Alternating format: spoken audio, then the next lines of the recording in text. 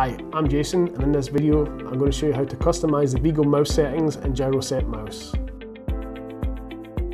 You will need a Vigo headset, a Nowtech BLE dongle, a computer, and you'll need GyroSet mouse software installed, available from nowtech.hu forward slash downloads. Launch the GyroSet software, plug in your BLE dongle, and turn on your headset.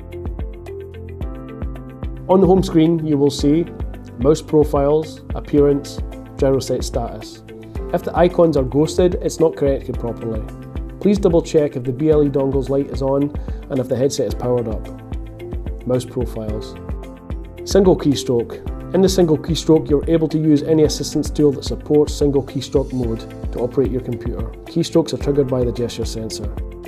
To set your center, this can be done two ways. Automatic. On activation, it will reposition the sensor of your mouse automatically once your head is held steady. Timer.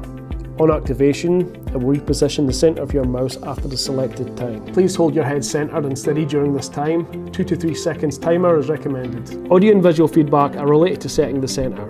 Ticking the audio feedback option will play beeps through a countdown.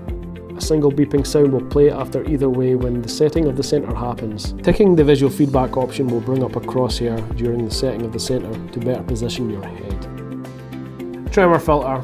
Here you can adjust the headset's capability to absorb small shakes and movements made by the user. The higher you set the scale will result in the headset becoming less reactive to these movements. Mouse speed.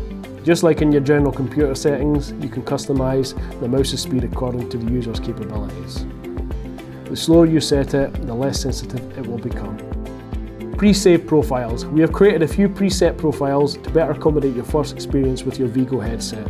Feel free to try and experiment with these. You won't be able to delete the profile name default, but you can change some of the settings. You can add and create new profiles with your preferred settings and name.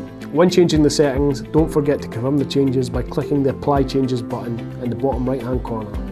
Appearance. If you choose appearance from the home screen, you can adjust the toolbar settings like position, size and opacity. Sticking the toolbar to the primary screen allows you to fix your toolbar to the primary screen, according to your preferences in the operating system of your computer, even if you use multiple screens. Then we have GyroSet status. You can always find an up-to-date status of your system here, including the version numbers, the device that you currently control with your Vigo headset, and battery status.